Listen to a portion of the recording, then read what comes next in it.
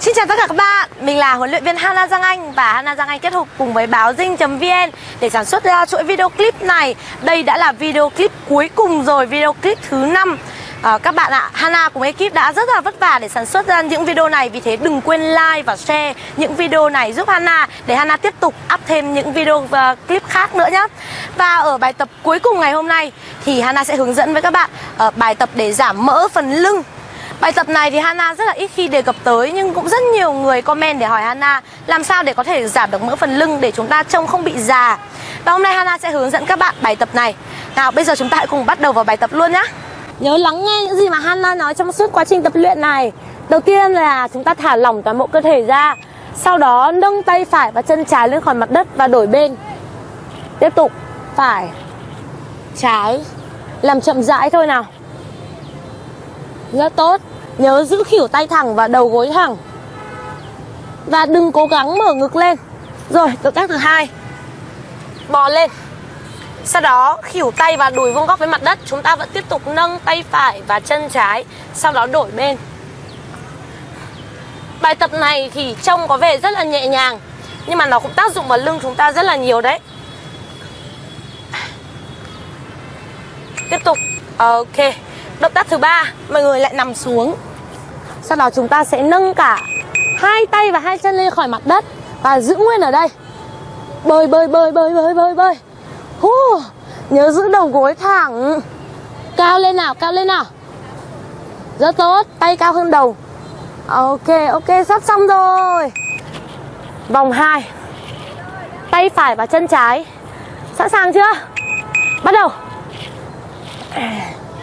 Nhớ giữ cơ thể cân bằng và siết chặt cơ bụng lại. Nếu các bạn bị ngả người ra như thế này Thì tức là các bạn sẽ tập sai. Giữ hai vai cân bằng. Rất tốt, tiếp tục. Ok. Nào, động tác thứ hai. Tay phải chân trái Nhớ đừng cong lưng Gồng lưng lên. Đổi bên. Rất tốt, tiếp tục. Động tác này thì mọi người làm chậm thôi để có thể giữ được thăng bằng. Nó còn tác dụng cả vào cơ bụng của mình đấy. Rồi nằm xuống nào. Tất cả những động tác này còn giúp chúng ta giảm phần mỡ hông. Rồi sau đó giữ thẳng khỉu tay và đầu gối. Bơi nhanh nhanh nhanh nhanh nhanh nhanh nhanh nhanh nhanh. Cố gắng lên giữ nào. Hù, Tay cao hơn đầu Chân cao hơn mông. Rồi sau đó hạ xuống. Ý à Đến vòng 3 rồi. Hãy quay trở lại động tác đầu tiên. Tay phải và chân trái. Bắt đầu. Nâng lên nào. Rất tốt. Đầu gối thẳng, khỉu tay thẳng. Vừa giảm mỡ lưng và giảm mỡ hông. Còn gì bằng nữa? Rồi. Quỳ lên. Và động tác thứ hai. Giữ lưng thẳng. Đúng rồi đấy. Đừng võng lưng. Kẻo các bạn sẽ bị đau phần cột sống. Chúng ta tập phần lưng không có nghĩa là chúng ta tập cột sống. Anna đã nhắc rằng khi mà tập luyện thể thao Dù là động tác gì chăng nữa các bạn cũng phải giữ cột sống thẳng đúng không? Rất tốt.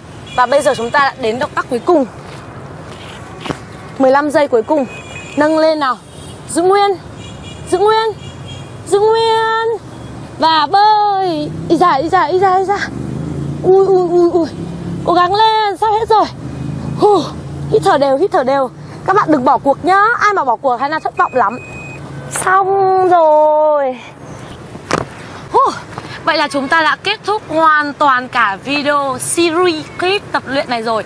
Chúng ta có tất cả 5 video Và mọi người biết đấy, Hana cùng ekip đã rất là nỗ lực. Mọi người hãy nhớ like và share video cho Hana nhé Và đừng quên uh, comment những cái uh, phần tập mà các bạn yêu thích Để Hana tiếp tục tiếp tục cố gắng làm thêm các series video clip như thế này cho các bạn nhé.